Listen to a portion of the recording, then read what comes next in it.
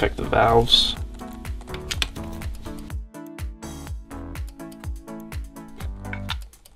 So now, to the plug.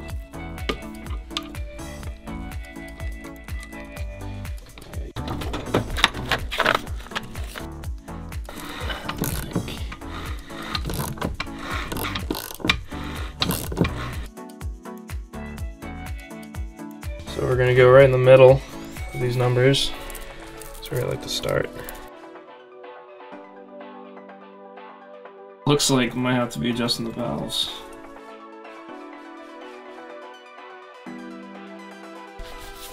Go left, right. Gonna have the exhaust here, the intake on this side, zero right here, point zero zero right here.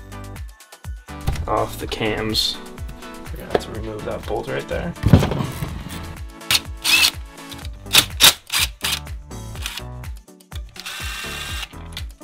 These are numbered too. You want to take these off in that pattern, tighten them up in that order as well.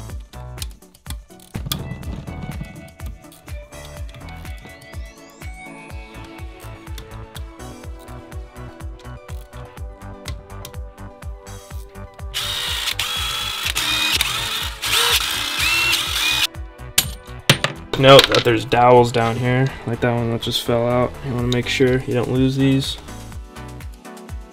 On these cams, they have little retainers as well that you want to take note not to lose. You do not want that down the bottom of the motor. When we take a look at the cams, you want to make sure there's no rough surfaces on the journals, on the cam itself.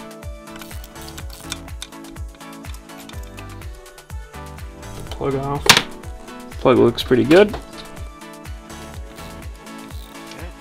Always make sure you take these off in a crisscross pattern.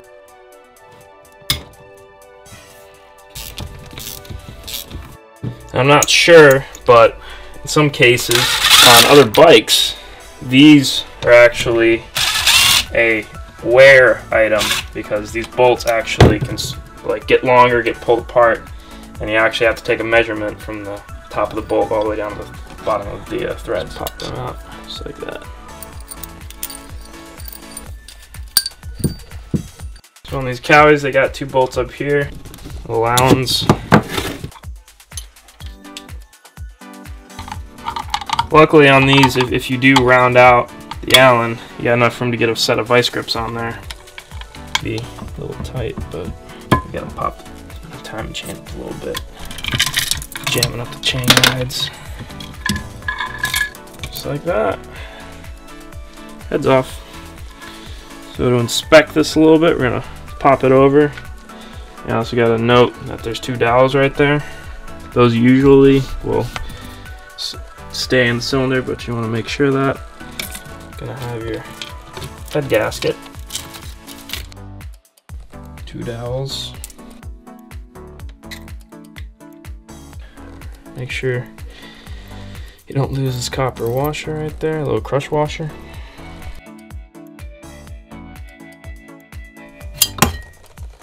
Cylinder out of there.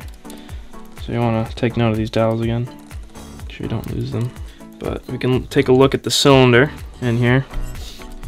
The cross hatching. You can just run your finger inside there like that. Just feel for any deep gouges.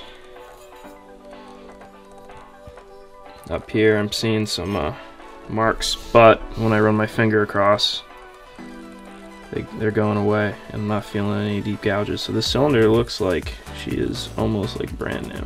With these cylinders, you want to be very careful if you hone them because they're Nikasil. So that Nikasil coating is very, very, very thin. And you don't want to go through that. And it's very easy if you take a ball hone or normal like hone for like a car and you run that through there, it's very easy to cut through that layer. Then you're going to be down to bare aluminum and when the cylinder gets too hot, it, it can lock up on, on you because of the uh, bare aluminum. So you just want to be very careful if you do decide to hone this. And also, if you hone it once, I would only use the cylinder for right after you hone it once. I wouldn't keep on re-honing it over like a few years. I would change the cylinder after the first time you hone it. See your crank down there? Now you're going to want to take and put paper towels or a rag, something clean. Don't put like a dirty, oily rag down there, but just to put something down there just to block off the bottom end. Get a feel for it first. I got it out now. Now, usually,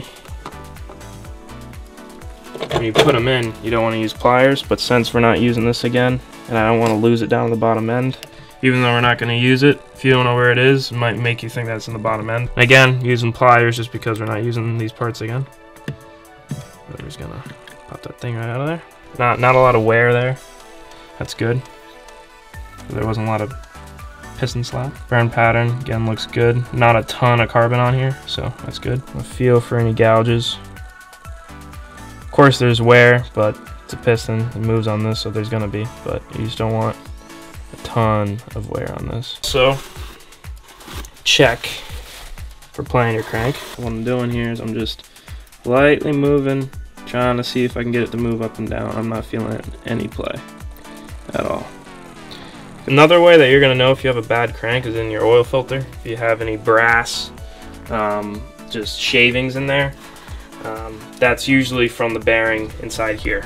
So if you start seeing like a ton of that pile up inside your uh, oil filter, I would definitely check check the crank because that's most like most likely going bad on you. Get it on there very tight. And again, do this in a crisscross pattern. I know some people like cutting out cardboard and num- or they number the bolts or that. Easy way just to when you're putting this back together to know which bolt is the right one. For example, you got a little bit longer one of a bolt there. You can put that bolt in there, right? Put that one in, and you can see they're all sticking out just just about the same height. So that's a good way to know.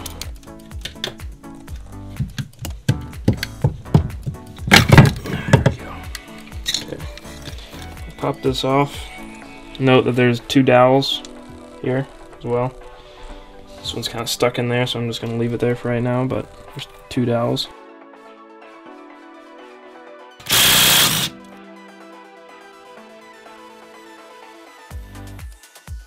Because MAPP gas get things uh, hot very, very quick, and that's not exactly what we're going for.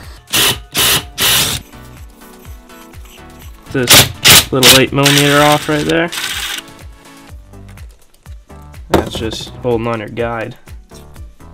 The timing chain. Let's put that aside. And you fish this thing right out of here. There you go. We're all set. Now we're ready to go order some parts.